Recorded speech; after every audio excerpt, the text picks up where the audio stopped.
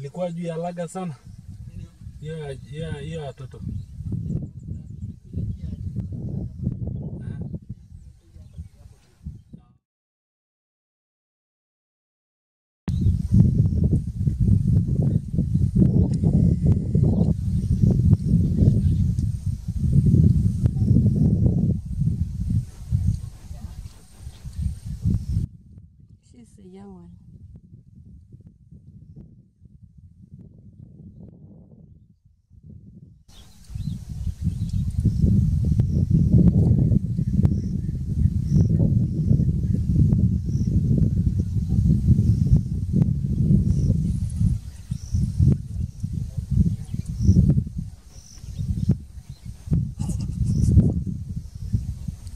Mm-mm.